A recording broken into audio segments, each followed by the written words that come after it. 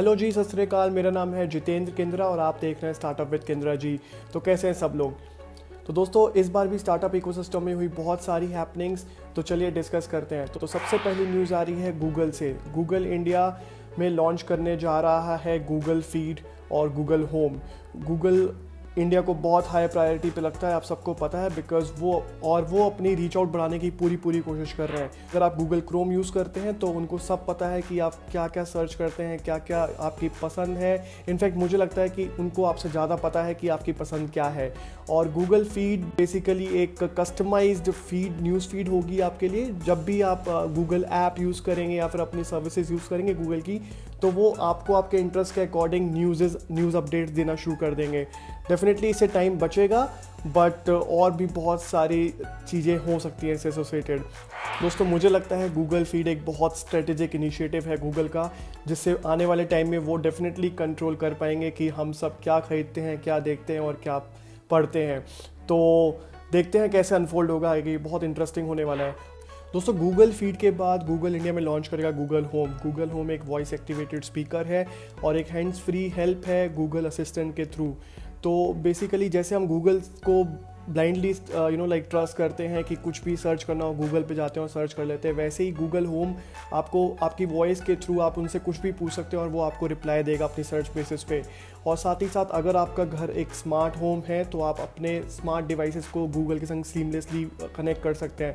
आपने जैसे sci fi movies में देखा होगा कि कैसे लोग घर के जस्ट अंदर एंटर करता है हीरो और वो कहता है लाइट्स ऑन और turn on the I mean like any तो गूगल होम आपके लिए वो सब शायद कर पाएगा और फ्यूचर में मुझे नहीं पता क्या क्या अनफोल्ड होने वाला है तो स्टे ट्यून टू दैट दोस्तों, अगला अपडेट है फ्लिपकार्ट से। फ्लिपकार्ट ने रेज किए हैं 2.5 billion dollar soft bank vision fund से। एंड ये इंडिया इंडिया के कंज्यूमर टेक्नोलॉजी सेक्टर का सबसे बड़ा इन्वेस्टमेंट है अभी तक का। दोस्तों, अगली न्यूज़ है अमेज़ॉन से। अगर आप एक सॉफ्टवेयर प्रोफेशनल हैं तो ये आपके लिए बहुत अच्छी न्यूज़ है बिकॉज़ अमेज़ॉन हायर करने वाला है करीबन हज़ार सॉफ्टवेयर प्रोफेशनल्स बिकॉज़ वो कंटिन्यूसली एक्सपेंड कर रहा है इंडिया में और कंटिन्यूसली मनी पम्प कर रहा है। तो अगर आप सॉफ्टवेयर प्रोफेशनल हैं तो आप डेफिनेटली जाके चेकआउट कर सकते हैं। सेलिब्रिटीज़ का भी स्टार्टअप में बहुत इंटरेस्ट है। मैं डेफिनेटली एक एक लिस्ट क्यूरेट करूँगा कि कौन कौन से सेलेब्स हैं जिनको आप अप्रोच कर सकते हैं।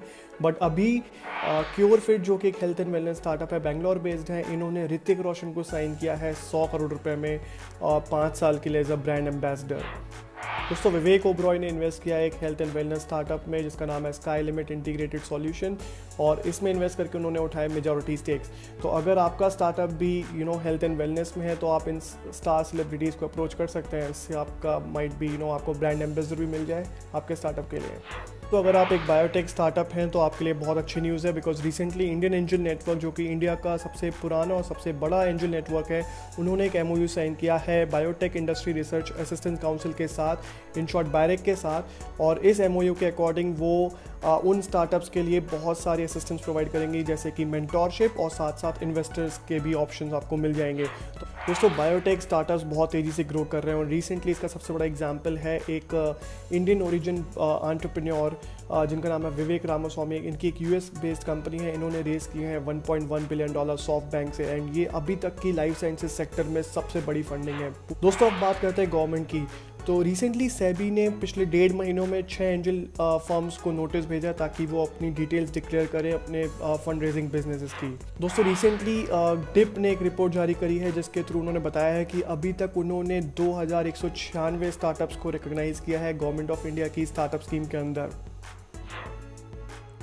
तो दोस्तों चलिए डिस्कस करते हैं इस हफ़्ते की फंडिंग्स की। इस हफ़्ते करीबन सात स्टार्टअप्स को फंडिंग मिली है।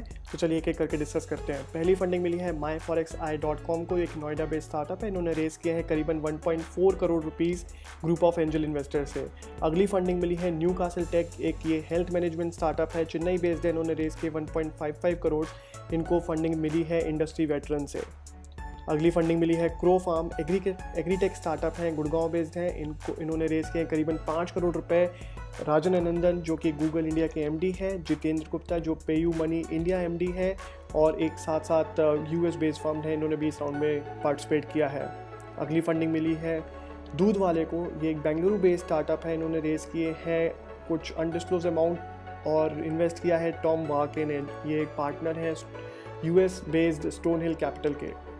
अगली फंडिंग मिली है E M three agri services को। ये नोएडा बेस्ड स्टार्टअप है, इन्होंने रेस किया है ह्यूज टेन मिलियन डॉलर की इन्वेस्टमेंट और इसमें इन्वेस्ट किया है ग्लोबल इनोवेशन फंड एक लंडन बेस्ड फंड है और उनके एग्जिस्टिंग इन्वेस्टर्स एस्पेडा ने। दोस्तों, अगली फंडिंग मिली है स्टे अबोर्ड को ये एक बेंगलुरु बेस्ड स्टार्टअप है और इन्वेस्ट किया है इंक्यूबेट फंड और अदर एंजल इन्वेस्टर्स ने। इन्वेस्टमेंट का साइज़ अनडिस्क्लोज रहा। अगली फंडिंग मिली है ओला कैब्स को और इन्होंने रेज़ किए हैं 231 करोड़ रुपए टेक्ने प्राइवेट वेंचर से। ये एक New York New York based hedge fund है। तो दोस्तों, ये थी इस हफ़्ते की मेजर अपडेट्स मेरा मन था कि गूगल के बारे में ज़्यादा डिस्कस करूँ बट वीडियो की लेंथ लंबी हो जाती, इसलिए नहीं किया। तो कोशिश करेंगे, कभी टेक टॉक्स में ज़रूर करेंगे ये सब चीज़ें। और अगर आपने अभी तक आंट्रप्रीनरशिप लर्निंग्स नहीं देखी हैं तो प्लीज़ आप देख लीजिए, उसका लिंक आपको यहाँ मिल जाएगा। और इस वीडियो को ज़्यादा से लाइक करिए शेयर करिए और चैनल को सब्सक्राइब ज़रूर करिए। और आने वाला है इंडिपेंडेंस डे तो happy independence day to everyone and जय हिंद वंदे मातरम